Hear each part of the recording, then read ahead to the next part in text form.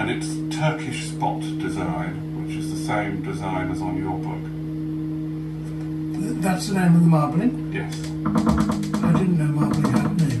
Yes, the different designs. But they aren't designed really, they're just done. Um,